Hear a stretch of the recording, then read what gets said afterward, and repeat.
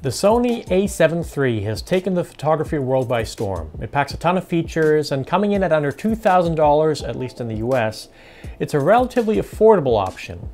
But as with every new camera, not everything is perfect. There are tons of reviews out there covering all the pros and cons of the camera, so I wanted to look at something different with this video. So here's something I came across that I thought was interesting. In March, DP Review posted a detailed look at the a7 III's high ISO and dynamic range performance, and what struck me was this. If you shoot compressed RAW, the camera drops to 12-bit sensor readout and continuous drive modes. This negatively impacts dynamic range, dropping 1.4 stops at base ISO and roughly one stop at ISO 640. So in plain English, that means you lose up to 1.4 stops of dynamic range when shooting in any continuous drive mode.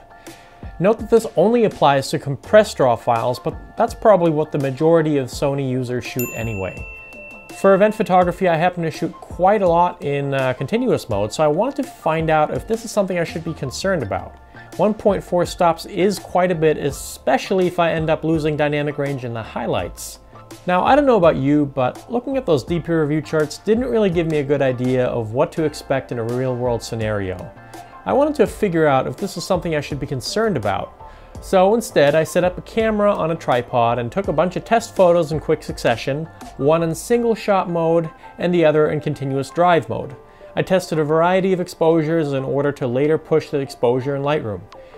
Now please note that this is not in any way scientific, but it should just do the job to look at what the real world impact would be. The first shot was underexposed by a couple of stops at ISO 100 and then pushed 5 stops in Lightroom. Looking at the shadows here, you can indeed see a difference in shadow detail, but it's very slight. There's definitely some more noise in the continuous shooting mode photo, and DP Review's figure of 1.4 stops sounds about right. Keep in mind though that this image is pushed five stops. So I overexposed this next shot quite a bit to check on the highlight recovery of both files. Bringing it way down in Lightroom, the highlight details look about the same on both shots. Now that's great news because I can deal with a bit of lost shadow dynamic range, but clipping highlights can just be nasty depending on what you're shooting. So next I repeated the same process at ISO 3200. The story is the same for the highlight dynamic range, pretty much no loss of detail. You can see a slight difference in the shadows though. DP Review says it's about 0.4 stops and that sounds about right looking at these samples. So there you have it. The a7 III does lose a bit of dynamic range when shooting uncompressed RAW in continuous mode. Should you be concerned about this? Is it worth sticking to single shot mode or uncompressed RAW just because of this? Probably not. If you're a landscape photographer, you're probably shooting uncompressed RAW anyway or using single shot mode. For sports and event photographers who tend to use their cameras in continuous mode, the impact on dynamic range is, in my opinion, too little to ever notice in most real-world applications. Since most of the dynamic range is lost in the shadows, you're unlikely to ever notice the difference unless you do a real side-by-side -side comparison in an extreme scenario such as mine.